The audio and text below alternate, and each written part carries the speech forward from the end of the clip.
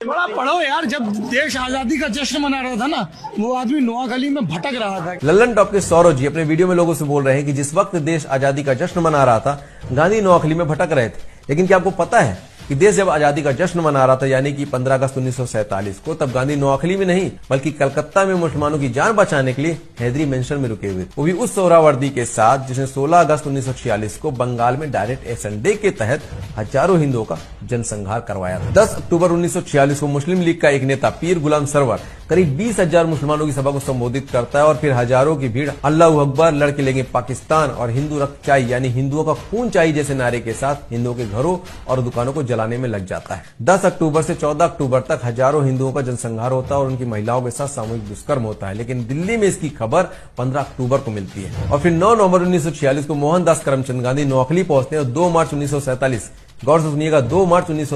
को नौखली के हिंदुओं को बचाने का अपना मिशन अधूरा छोड़कर बिहार के मुसलमानों को बचाने के लिए बिहार पहुँच जाते हैं। और फिर उसके बाद कभी भी लौटकर नौकली नहीं जाते। देखिए, जिस देश में 75 सालों से गांधी को आज़ादी का एक ब्रांड बनाकर पेश किया गया है, उस देश में इस नरेटिव को तोड़ना कि दे दी हमें आज़ादी बिना खड़क, बिना डाल, इतना आसान नहीं है। लेकिन जब कोई वामी गामी पत्रकार या फिर चाटुकार ये कहे कि देश जब आज़ादी का जश्न मना रहा था तो गांधी हिंदू मुस्लिम एकता के लिए आंदोलन कर रहे थे तो ये वीडियो उनके मुँह पर उठाकर मार देना। जय हिंद, वंदे